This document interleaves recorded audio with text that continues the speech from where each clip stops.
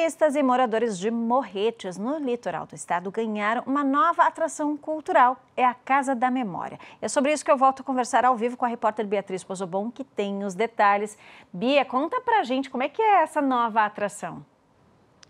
Oi, Giovana. Então, a Casa da Memória ela fica instalada dentro da estação ferroviária de Morretes, que já é um importante ponto de visitação do município.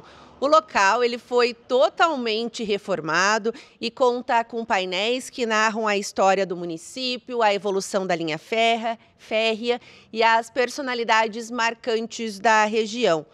Todos os ciclos econômicos de Morretes, como a mineração e a exploração do ouro, da erva mate e da madeira, estão expostos de maneira explicativa aos visitantes nesses painéis. Os painéis também é uma também apresentam a história do barreado, que é o prato típico do litoral paranaense, das comunidades caiçaras, além de curiosidades sobre a região. A Casa da Memória ela foi batizada de Eric Hanzinker, em homenagem ao escritor, pesquisador e professor conhecido aí pelo seu envolvimento profundo com a cidade de Morretes.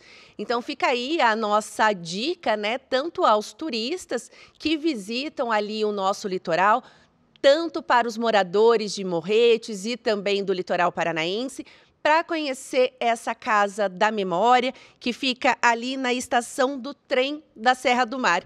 Mais um ponto, né, Giovana? Mais um atrativo para a gente colocar no roteiro quando for visitar Morretes, não é mesmo? É um motivo a mais, né, para a gente revisitar sempre a cidade. Eu adoro Morretes, acho que vale sempre, né, ser visitado. Agora a gente tem essa novidade. Muito obrigada, Bia, pelas informações.